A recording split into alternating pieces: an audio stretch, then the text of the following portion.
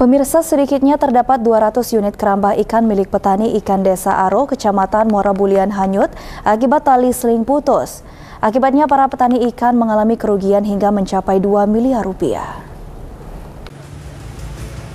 Kerambah ikan yang berada di aliran sungai Patanghari hanyut karena derasnya aliran sungai. Sejumlah petani ikan desa Aro, kecamatan Muara Bulian, Kabupaten Batanghari harus gigit jari. Pasalnya pada dini hari ratusan keramba jaring milik petani hanyut akibat tali seling penyangga yang putus.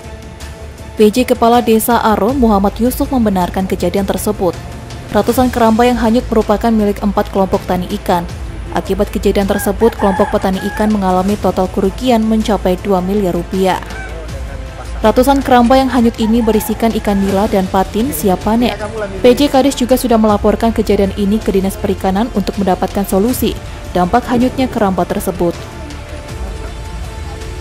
Keramba ini hanyutnya akibat selingnya putus atau nyelorot gitu. Jadi karena keramba ini banyak diperkirakan lebih kurang 200 unit ada yang sudah siap panen, ada yang baru menabur bibit. Jadi harapan kami dengan adanya persoalan ini supaya pemerintahan daerah dapat menyikapi dengan cepat karena ini adalah suatu beban duka yang sangat mendalam beban perekonomian masyarakat kami Desa Aro, Kecamatan Merabulian, Kabupaten Tanghari. Sementara itu, Yahya, salah seorang pemilik keramba mengatakan, saat kejadian dirinya dan warga sekitar sudah berusaha untuk menyelamatkan keramba miliknya. Namun karena keterbatasan tenaga dan arus sungai yang begitu deras, membuat keramba yang hanyut tersebut tidak bisa diselamatkan.